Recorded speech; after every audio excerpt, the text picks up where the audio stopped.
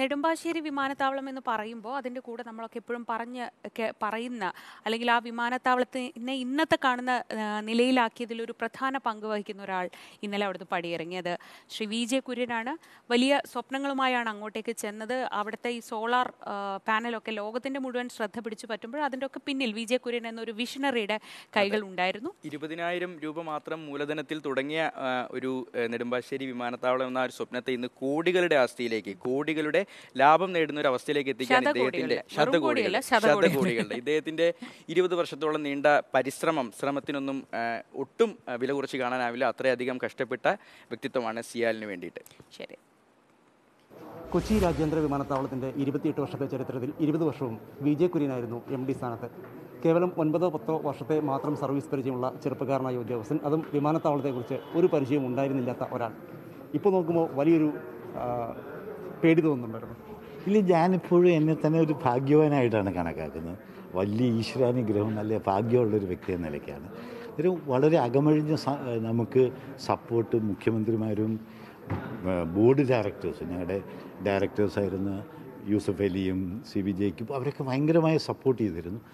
പിന്നെ ഒരു ജനറലായിട്ടൊരു political backing ഞങ്ങൾക്ക് ഗവൺമെന്റുകൾ മാറി വന്നെങ്കിലും ഞങ്ങൾക്കൊരു ബാക്കിങ് ഉണ്ടായിരുന്നു. അതായിരുന്നു എന്റെ വിജയത്തിന് കാരണം. ഈ വിമാനത്താവളത്തിന് തുടക്കമെന്ന് പറയുന്നത് വാടക കെട്ടിടത്തിൽ അങ്ങ് മാത്രം ഒരു ഉദ്യോഗസ്ഥനായി അതും പലരും സ്പോൺസർ ചെയ്ത കമ്പ്യൂട്ടർ മറ്റും ഉപയോഗിച്ചിരുന്നല്ലേ അത് തീർച്ചയായിട്ടും ഞങ്ങൾക്ക് അന്ന് ഇരുപതിനായിരം രൂപയുണ്ടായിരുന്നു ഇവിടെ ആരും ഇത് നടക്കില്ല എന്ന് വിചാരിച്ചിരുന്നു. അന്നേരം എനിക്ക് പോലും ശമ്പളമൊന്നുമില്ലായിരുന്നു ഒരു കുറേ നാൾ കാറോ ഒന്നുമില്ലായിരുന്നു പക്ഷേ നമുക്കൊരു ഉത്തമ വിശ്വാസമായിരുന്നു. ഒരു പ്രതീക്ഷയായിരുന്നു ഇത് നടത്താമെന്നുള്ളതായിരുന്നു. അന്നേരം അങ്ങനെ ഒരു ഒരു പ്രസ്ഥാനത്തിൽ ഇറങ്ങി ഞാൻ പറഞ്ഞു വന്നായിരുന്നു. ഒരു ഭാഗ്യവാനാണ് അതുകൊണ്ട് കാര്യമില്ല. ഇപ്പോഴും ആ ഓഫീസ് ഞങ്ങളുടെ കയ്യിലുണ്ട്. ജി സി ഡി എയിലെ കോംപ്ലക്സിലാണ് അന്ന് നൂറ് രൂപയ്ക്കാണ് അവർ തന്നിപ്പം കുറെ കൂടെ കൂടി.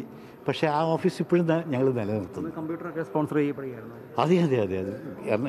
എറണാകുളം ചേംബർ ഓഫ് കോമേഴ്സ് അന്ന് ഇപ്പം Kerala chamber of commerce and industries എന്ന് പറയുന്ന അവർ ഇന്ത്യൻ ചേംബർ ഓഫ് കോമേഴ്സ് വ്യാപാരി വ്യവസായ ഇവരെല്ലാവരും കൂടെയാണ് ഓരോ ഉപകരണങ്ങൾ അന്ന് സ്പോൺസർ ചെയ്യുന്നത്. പൂർണമായും സോളാർ എനർജിയിൽ പ്രവർത്തിക്കുന്ന വിമാനത്താവളം എന്നുള്ളതാണ് അങ്ങേക്ക് ഏറ്റവും സംതൃപ്തി നൽകുന്ന ഘടകം. എനിക്ക് തോന്നുന്നു അതാണ്. പിന്നെ ഇത്രയും ലാഭകരമായിട്ട് കോസ്റ്റ് എഫക്റ്റീവായിട്ട് ചെയ്തു.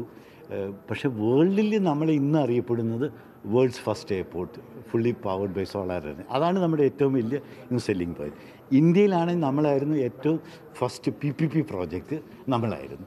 മറ്റുള്ളവരെല്ലാം നമ്മളെ ഫോളോ ചെയ്തു വിമാനത്താവളം ഓഹരി വിപണിയിൽ ലിസ്റ്റ് ചെയ്യപ്പെടുന്ന ഒരു സാഹചര്യം ഉണ്ടാകും അതിന് എനിക്ക് ഒന്ന് കുറേ കൂടെ ഒന്ന് ആലോചിച്ചിട്ട് ചെയ്യേണ്ട ഒരു സംഗതിയാണ്. അതിന്റെ അകത്ത് നമുക്കൊരു റിസ്ക് ഉണ്ട് എന്നുള്ള കാര്യത്തിൽ യാതൊരു സംശയം അതായത് യാത്രക്കാർ ഇല്ലെങ്കിൽ തന്നെ വിമാനത്താവളം വിജയകരമായി മുന്നോട്ട് കൊണ്ടുപോകാവുന്ന ഒരു പദ്ധതിയാണല്ലോ അങ്ങയുടെ മനസ്സിൽ രണ്ടായിരത്തി മുപ്പത് രണ്ടായിരത്തി മുപ്പതിൽ ലാൻഡിങ് ചാർജസോ പാർക്കിംഗ് ചാർജോ ഇല്ലാത്ത ഒരു വിമാനത്താവളമായിട്ട് മാറ്റണം. നമുക്ക് നൂറ് ഏക്കറോളം സ്ഥലമുണ്ട് ഈ എയർപോർട്ടിനും നാഷണൽ ഹൈവേക്കും ഇടയ്ക്ക്.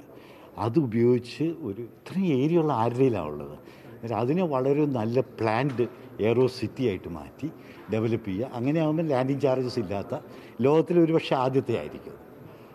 ഈ കാലയളവിൽ മാറി മാറി വന്ന മുഖ്യമന്ത്രിമാർ മറ്റുദ്യോഗസ്ഥർ ഇവരോടെല്ലാം ഏത് സർക്കാർ വന്നാലും അങ്ങ് തന്നെ തുടരട്ടെ എന്നുള്ളതായിരുന്നു. എങ്ങനെ സാധിക്കും അതെന്താ വെച്ചാൽ എന്നും മുഖ്യമന്ത്രിമാർക്ക് തന്നെ ഒരു ഇതിലൊരു വിശ്വാസം ഉണ്ടായിരുന്നു. ആ ഒരു നമ്മളൊരിക്കലും ആ വിശ്വാസം കളഞ്ഞിട്ടില്ല. പിന്നെ ഇത്രയും ഞങ്ങളുടെ അത്രയും ട്രാൻസ്പെറന്റ് ആയിട്ടുള്ള ഒരു കമ്പനി ഞാൻ നിങ്ങൾ നോക്കിയാൽ മതി ഞങ്ങളുടെ വെബ്സൈറ്റ് നോക്കി എന്ത് വിവരം നിങ്ങൾക്ക് കിട്ടും. പക്ഷേ ചില ചിലത് കമ്പനിയുടെ രഹസ്യങ്ങൾ നമുക്ക് കൊടുക്കാൻ പറ്റില്ല. പക്ഷേ ഒരു പൊതുജനത്തിന് ഏത് ടെൻഡർ നടത്തി ആരാ കോട്ട് ചെയ്ത് ഇതൊക്കെ നമുക്ക് അവിടെ ഇൻഫോ ഇത് കിട്ടും. റിട്ടയർ ആകുന്ന അവസ്ഥയിൽ ചില വൻകിട കമ്പനികൾ നിങ്ങൾക്ക് ഓഫർ വന്നിട്ടുണ്ടെന്നൊക്കെയാണ് കേൾക്കുന്നത്. എന്താണ് അടുത്ത പരിപാടികളുണ്ടാണ് ഇല്ല ഞാൻ പല ഓഫറുകളും വന്നത് അത് സത്യമാണ്. പക്ഷേ ഞാനതിന് ഇല്ല എനിക്ക് താല്പര്യമില്ല ഞാൻ കൃഷിയിലേക്കാണ്? ആ കൃഷി ഉണ്ട് കുറച്ച് തല ഞങ്ങളൊക്കെ ഒരു ഫാമിംഗ് കമ്മ്യൂണിറ്റിയിൽ നിന്ന് വന്ന ആൾക്കാരാണ്. ഒരു കൃഷി വളരെ ഇഷ്ടമുള്ളതാണ്. ഇവിടെ തന്നെ നിങ്ങൾക്ക് അറിയാമായിരിക്കുമല്ലോ സോളാർ പാലിന്റെ ഇടയ്ക്ക് ഞങ്ങൾ പച്ചക്കറി വളർച്ച് ഒരുപക്ഷെ യു എൻ അവാർഡ് കിട്ടാനൊരു പ്രധാന കാരണം മറ്റുള്ളവരൊക്കെ ഈ പുല്ല് വെട്ടാൻ പൈസ കളയുന്നിടത്ത് നമ്മൾ പച്ചക്കറി നട്ട് അത് തീർക്കുകയാണ് ചെയ്യുന്നത്. എന്തായാലും പൂർണ സംതൃപ്തിയോടെയാണ് പടിയിറങ്ങുന്നത്? വളരെ വളരെ സന്തോഷം വളരെ സന്തോഷവാനായിട്ടാണ് എന്നുവെച്ചാൽ എല്ലാ ഗവൺമെന്റും എനിക്ക് ഇതാണെങ്കിലും പത്ത് കൊല്ലം കണ്ടിന്യൂസ് ആയിട്ട് കിട്ടി. ഈ ഇരുപത്തെട്ട് ചരി കൊല്ലത്തെ ചരിത്രത്തിൽ ഇരുപത് കൊല്ലം കിട്ടി. അതുകൂടാതെ ഈ പത്ത് കൊല്ലം വളരെ നല്ല ഒരു ഒരു ഇത് ചെയ്യാൻ പറ്റി. Thank you. വിമാനത്താവള കമ്പനിയാണെങ്കിലും വിമാനത്താവളത്തിന്റെ ഓപ്പറേഷൻസിനപ്പുറം ജലപാത ഉൾപ്പെടെയുള്ള കാര്യങ്ങളിലേക്ക് കാൽ വെച്ചാണ് B J Kurian M D സ്ഥാനത്ത് നിന്ന് പടിയിറങ്ങുന്നത്.